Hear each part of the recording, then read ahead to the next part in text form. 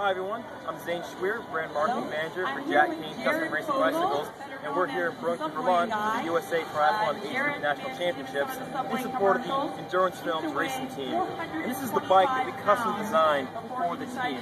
Since Endurance Films is a race company, or a film company, excuse me, we wanted to have that on the bike. So we made our the rear disc look like a DVD, and we used a Ren wheel, which is completely flat, to help make our DVD completely flat.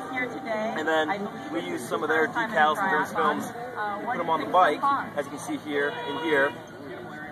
And then one of the cool things about the front wheel is that it looks like an old school film reel.